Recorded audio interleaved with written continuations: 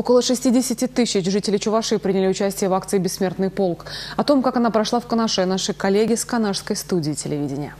10 часов по московскому времени ознаменовал торжественное открытие митинга. И первыми строем прошли потомки героев, чьи отцы, деды и прадеды воевали и гибли за мир и счастье на земле, увековечивая их имена в памяти живущих.